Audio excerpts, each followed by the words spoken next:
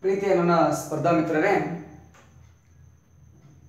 ಶೇಕಡಾಮಾನ ವಿಷಯಕ್ಕೆ ಸಂಬಂಧಿಸಿದಂತೆ ಆಲ್ರೆಡಿ ಹತ್ತು ವಿಧಾನವನ್ನು ನೋಡಿದ್ದೇವೆ. ಈಗ ಹನ್ನೊಂದನೇ ವಿಧಾನ. ಇಲ್ಲಿ ಪ್ರಶ್ನೆ ಹೆಂಗಿರ್ತಪ್ಪ ಅಂತ ಕೇಳಿದ್ರೆ, ಒಂದು ಪರೀಕ್ಷೆಯಲ್ಲಿ ಶೇಕಡ ನಲವತ್ತರಷ್ಟು ವಿದ್ಯಾರ್ಥಿಗಳು ವಿಜ್ಞಾನದಲ್ಲಿ ಮತ್ತು ಶೇಕಡ ಮೂವತ್ತರಷ್ಟು ವಿದ್ಯಾರ್ಥಿಗಳು ಗಣಿತದಲ್ಲಿ ಮತ್ತು ಶೇಕಡ ಹದಿನೈದರಷ್ಟು ವಿದ್ಯಾರ್ಥಿಗಳು ಎರಡರಲ್ಲಿಯೂ ಅನುತ್ತೀರ್ಣರಾಗಿದ್ದಾರೆ. ಹಾಗಾದರೆ ಉತ್ತೀರ್ಣರಾದ ಶೇಕಡ ಪ್ರಮಾಣ ಎಷ್ಟು ಅಂತ ಪ್ರಶ್ನೆ. ನೋಡಿ, ಈ ಪ್ಯಾಟರ್ನ್ ಸ್ವಲ್ಪ ಇಂಪಾರ್ಟೆಂಟ್ ಪ್ರಶ್ನೆ ಇದು ಯಾಕಂದರೆ ಪಿ ಎಸ್ ಐ ಪರೀಕ್ಷೆ ಆಗಿರ್ಬೋದು ಕೆ ಎಸ್ ಅಲ್ಲಿ ಕೂಡ ಆರ್ ಆರ್ ಬಿ ಮತ್ತು ಕೆ ಎಸ್ ಆರ್ ಸಿ ಅಲ್ಲಿ ಕೂಡ ಹಲವು ಸಾರಿ ಈ ಪೇಪರ್ ಮೇಲೆ ಪ್ರಶ್ನೆಗಳು ಬಂದಿದ್ದು. ಹಾಗಾಗಿ ಇಲ್ಲಿ ಒಂದು ಪರೀಕ್ಷೆಯಲ್ಲಿ ಶೇಕಡಾ ನಲವತ್ತರಷ್ಟು ವಿದ್ಯಾರ್ಥಿಗಳು ವಿಜ್ಞಾನ ವಿಷಯದೊಳಗೆ ಮತ್ತು ಶೇಕಡ ಮೂವತ್ತರಷ್ಟು ವಿದ್ಯಾರ್ಥಿಗಳು ಗಣಿತದಲ್ಲಿ, ಶೇಕಡ ಹದಿನೈದರಷ್ಟು ವಿದ್ಯಾರ್ಥಿಗಳು ಎರಡರಲ್ಲಿಯೂ ಅನುತ್ತೀರ್ಣರಾಗಿದ್ದಾರೆ, ಹದಿನೈದರಷ್ಟು ಎರಡರಲ್ಲಿಯೂ ಅನುತ್ತೀರ್ಣರಾಗಿದ್ದಾರೆ. ಹಾಗಾದರೆ ಉತ್ತೀರ್ಣರಾದ, ಹಾಗಾದರೆ ಪಾಸಾದ ವಿದ್ಯಾರ್ಥಿಗಳ ಪ್ರಮಾಣ ಶೇಕಡ ಎಷ್ಟು ಅಂತ ಕೇಳ್ತಾ ಇದ್ದಾರೆ. ಇಲ್ಲಿ ಶೇಕಡ ಕೊಟ್ಟಾನಪ್ಪ ಅಂತೇಳಿ ನಾವು ನೂರಕ್ಕಿಂತಿಷ್ಟು ಅಂತ ತಗೋಬಾರ್ದು. ಹಾಗೆ ತಗೊಂಡ್ರೆ ತಪ್ತಾ ಇಲ್ಲಿ? ಹಾಗಾದ್ರೆ ಈ ಪ್ಯಾಟರ್ನ್ ಪ್ರಾಬ್ಲಮನ್ನು ಹೆಂಗೆ ಸಾಲ್ವ್ ಮಾಡ್ಬೇಕು ನೋಡ್ರಿ? ಒಂದು ಪರೀಕ್ಷೆಯಲ್ಲಿ ಶೇಕಡ ನಲವತ್ತರಷ್ಟು ವಿದ್ಯಾರ್ಥಿಗಳು ಯಾವ ವಿಷಯದಲ್ಲಿ ರೀ ವಿಜ್ಞಾನದಲ್ಲಿ ಅನುತ್ತೀರ್ಣರಾಗ್ಯಾರ. ಅಂದ್ರೆ ನೋಡ್ರಿ, ಕೇವಲ ಯಾವ್ದ್ರಿ? ವಿಜ್ಞಾನ. ವಿಜ್ಞಾನ ವಿಷಯದಲ್ಲಿ ಅನುತ್ತೀರ್ಣರಾದ ವಿದ್ಯಾರ್ಥಿಗಳ ಸಂಖ್ಯೆ. ಈ ಪ್ಯಾಟರ್ನ್ ನಾನು ನಿಮಗೆ ಮೂರು ಟೈಪ್ ತಿಳಿಸ್ತೀನಿ. ಮೂರು ವಿಧಾನಗಳಲ್ಲಿ. ನಿಮಗೆ ಯಾವ ವಿಧಾನ ಲೈಕ್ ಆಗುತ್ತೋ ಅಥವಾ ಆಯ್ಕೆ ಆಗುತ್ತೋ ಆ ವಿಧಾನದಲ್ಲಿ ಬಿಡಿಸಿ. ಆದರೆ ಏನಿರಬೇಕು? ಎರಡು ವಿಷಯಗಳಲ್ಲಿ ಫೇಲ್ ಆಗಿರಬೇಕು ಮತ್ತು ಎರಡರಲ್ಲಿ ಫೇಲ್ ಆದ ವಿದ್ಯಾರ್ಥಿಗಳು ಅಥವಾ ಅನುತ್ತೀರ್ಣರಾದ ವಿದ್ಯಾರ್ಥಿಗಳು ಈ ಪ್ಯಾಟರ್ನ್ ಇತ್ತಂದ್ರೆ ಇಲ್ಲಿ ಮೂರು ಟೈಪ್ ತಿಳಿಸ್ತೀನಿ. ಆ ಮೂರಲ್ಲಿ ಯಾವ್ದು ಬೇಕೋ ಅದನ್ನು ಯೂಸ್ ಮಾಡಿ. ಈಗ ನೋಡ್ರಿ.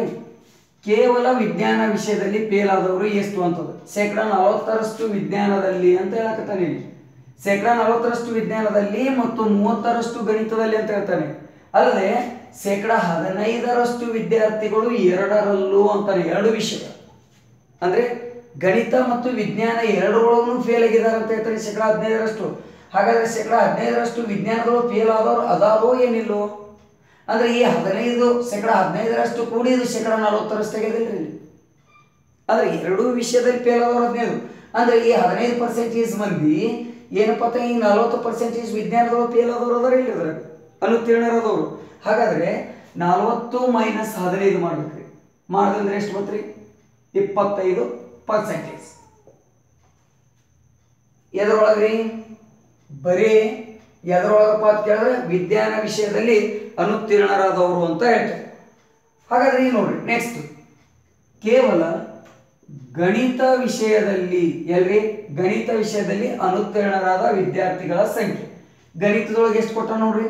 ಮೂವತ್ತರಷ್ಟು ವಿದ್ಯಾರ್ಥಿಗಳು ಅಂತಾನೆ ಮೂವತ್ತು ಪರ್ಸೆಂಟೇಜ್ ಮೈನಸ್ ಶೇಕಡ ಹದಿನೈದರಷ್ಟು ವಿದ್ಯಾರ್ಥಿಗಳು ಎರಡು ವಿಷಯದಲ್ಲಿ ಅನುತ್ತೀರ್ಣರಾಗಿದ್ದಾರೆ. ಶೇಕಡ ಹದಿನೈದರಷ್ಟು ಎರಡು ವಿಷಯ ಅಂದ್ರೆ ಗಣಿತ, ವಿಜ್ಞಾನ ಎರಡರೊಳಗೆ ಅನುತ್ತೀರ್ಣರಾಗ್ಯಾರ. ಅಂದ್ರೆ ಎರಡು ವಿಷಯದೊಳಗೆ ಅನಿತೀರ್ಣರಾದವ್ರು ಗಣಿತದೊಳಗೆ ಅದಾರ ಇಲ್ಲರಿ ಇದ್ರಾಗ ಹದಿನೈದು ಮಂದಿ. ಹಾಗಾದ್ರೆ minus fifteen percentage of fifteen ಇಸ್ಕೊಟ್ಟು ಎಷ್ಟು ಕೊಟ್ರಿ ಹದಿನೈದು ಪರ್ಸೆಂಟೇಜ್ ಈಗ ನೋಡ್ರಿ, ಎರಡೂ ವಿಷಯದಲ್ಲಿ, ಎರಡು ವಿಷಯದಲ್ಲಿ ಅನುತ್ತೀರ್ಣರಾದ ವಿದ್ಯಾರ್ಥಿಗಳ ಸಂಖ್ಯೆ. ಎಷ್ಟಾದ್ರೆ ಎರಡು ವಿಷಯದಲ್ಲಿ? ಹದಿನೈದು ಪರ್ಸೆಂಟೇಜ್ ಬರ್ರಿ ಮುಗೀತ್ರಿ ಪ್ರಾಬ್ಲಮ್ ಮುಗಿಸ್ದಂಗೆ ರೀ ಹಾಗಾದ್ರೆ, ಒಟ್ಟು ಅನುತ್ತೀರ್ಣರಾದ ಅನುತ್ತೀರ್ಣರಾದ ವಿದ್ಯಾರ್ಥಿಗಳ ಸಂಖ್ಯೆ.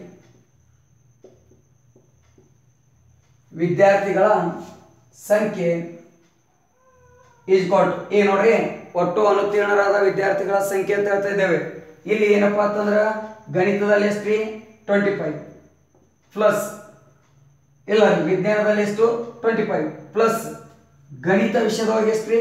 ಫಿಫ್ಟೀನ್ ಪ್ಲಸ್ ಎರಡು ವಿಷಯದೊಳಗಡೆ ಫೇಲ್ ಆದವ್ರು ಎಷ್ಟು ರೀ ಫಿಫ್ಟೀನ್ ಪರ್ಸೆಂಟೇಜ್ ಎರಡು ವಿಷಯದಲ್ಲಿ. ಹಾಗಾದ್ರೆ ಅದು ಫಿಫ್ಟೀನ್ ನೋಡ್ರಿ. ಗಣಿತದ, ಇದು ವಿಜ್ಞಾನದಲ್ಲಿ ಇಪ್ಪತ್ತೈದು, ಗಣಿತದಲ್ಲಿ ಹದಿನೈದು ಪರ್ಸೆಂಟೇಜ್ ಎರಡು ವಿಷಯದಲ್ಲಿ ಫೇಲ್ ಆದವರು ಹದಿನೈದು ಪರ್ಸೆಂಟೇಜ್ ವಸ್ತು ಎಷ್ಟು ಎಷ್ಟೈತೆ ನೋಡ್ರಿ?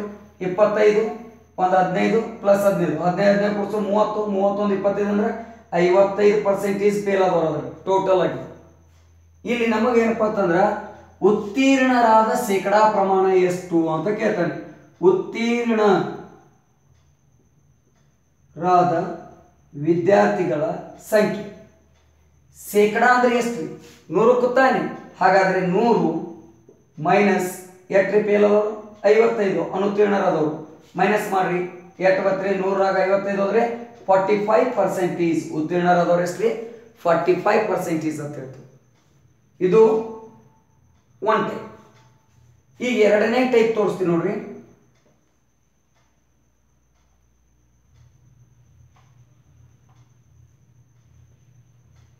ಒಂದು ಟೈಪ್ ಏನಪ್ಪ ಅಂತಂದ್ರೆ ಈ ಟೈಪ್ ಬರ್ಕೊಂಡು ಬಿಡಿಸ್ಬೋದು ಒಂದು ಈ ವಿಧಾನ ಈಗ ಎರಡನೇ ವಿಧಾನ.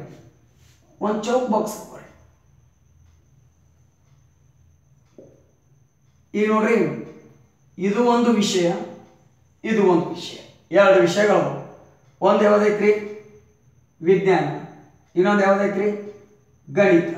ಇಷ್ಟು ಹಾಕೊಂಡ್ರಿ ಹಾಗಾದ್ರೆ ವಿಜ್ಞಾನದೊಳಗೆ ಅನುತ್ತೀರ್ಣರದವ್ರು ಎಷ್ಟು ರೀ ನಾಲ್ಕು ಪರ್ಸೆಂಟೇಜ್ ಹಾಗಾದ್ರೆ ಗಣಿತದೊಳಗೆ ರೀ ಮೂವತ್ತು ಪರ್ಸೆಂಟೇಜ್ ಎರಡೂ ವಿಷಯದಲ್ಲಿ ಎಷ್ಟು? ಹದಿನೈದು ಪರ್ಸೆಂಟೇಜ್ ಅಂತ. ಹಾಗಾದ್ರೆ ನಮ್ಮ ಚೌಕ ಕೊಡೋದ್ರಿ.